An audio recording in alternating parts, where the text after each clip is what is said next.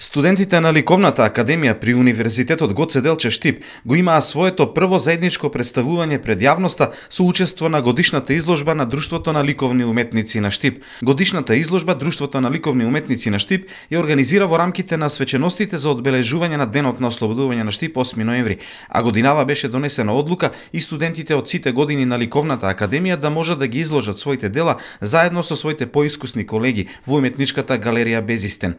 Ова е еден добар чекор каде студентите имаат можност преку академијата и заедно со Друштвото на ликовни уметници да изложуваат свој дела. Тоа се студентски задачи, учествуваат сите студенти од сите години со дела кои ги сработиле за време на студирањето.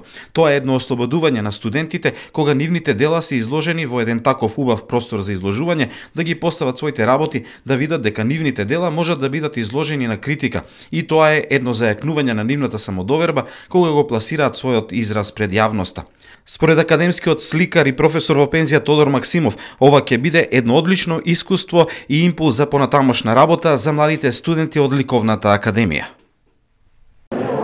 Ова 48 поред изложба е со 19 автори од сите можни членови на друштвото и имаме 10 автори од студентите на Ликовната академија на Универзитетот во Штип. А, техниките се тие одмоли, преку акварел до масло на платно.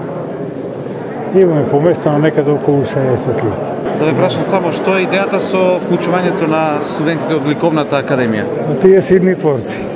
Сега да ги учат основните основниот ликовен јазик од линија па преку хармонии се до композиција, а после натаму сето она што го имат како идеја можат преку тие сознанија ликовни веќе да се изрази. А сигурно ќе имате идејата да тоа што гледам дека луѓето, студентите размислуваат ликовно. Имаат добри професори и така.